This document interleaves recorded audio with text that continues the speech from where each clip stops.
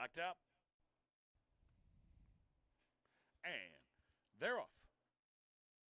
Ice Blast with a good start. Grant Andrews from the inside has speed. My brother Cam is sent. So my brother Cam, Grant Andrews, they're off to the front together. Ice Blast right behind the pair racing in third. Olang Zine off the pace fourth, and that sweeping giant fifth of five. My brother Cam establishes the tempo now with Grant Andrews trapped on the inside second. Ice Blast is on their outside. He's a close third.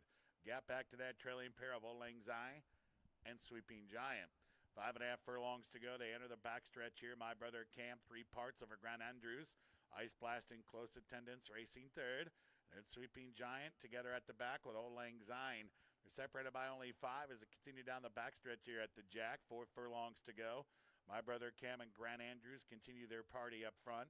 And now Sweeping Giants moving up outside of Ice Blast. Old Lang Zine trails the field. Pace picks up here as they enter the far turn. Three furlongs to go.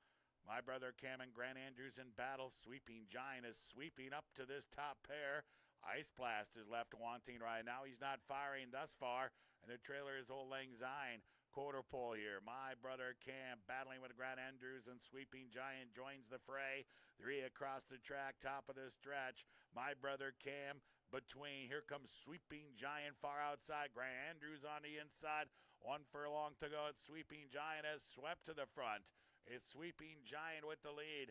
My brother Cam left in his wake with Grant Andrews. Ice Blast with late run. Way too late. Sweeping Giant. Big effort today. Sweeping Giant does it.